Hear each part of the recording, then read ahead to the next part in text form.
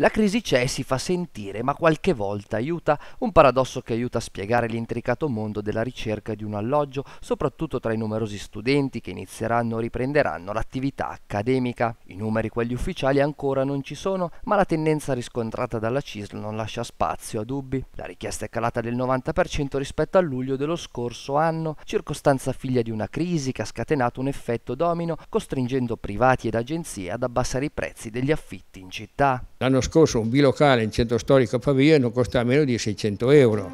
quest'anno si trova anche 500 euro, quindi un, una coppia di studenti direi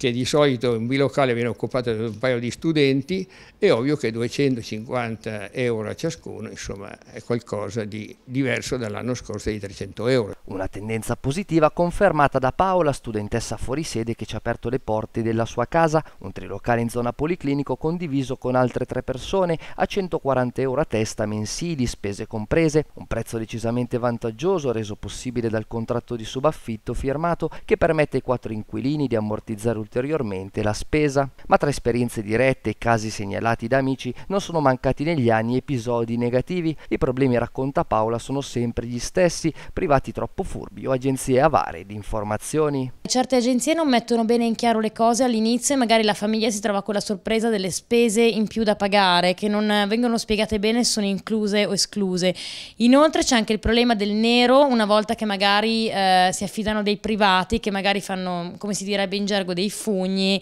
e cercano magari di intascarsi una parte di soldi, era successo a un'altra mia amica. Un mondo variegato in cui bisogna prestare la massima attenzione per orientarsi ed evitare la più classica delle sole, affidarsi a persone conosciute e firmare contratti regolari, i consigli da seguire per partire con il piede giusto e limitare le possibilità di rimanere fregati. È quasi sempre meglio comunque giro di amici che già hanno case oppure agenzie molto serie. Il, il privato sconosciuto lo sconsiglio sempre. Non fare contratti in nero oppure si pongono il problema di fare contratti in nero, cioè contratti non identificabili dal punto di vista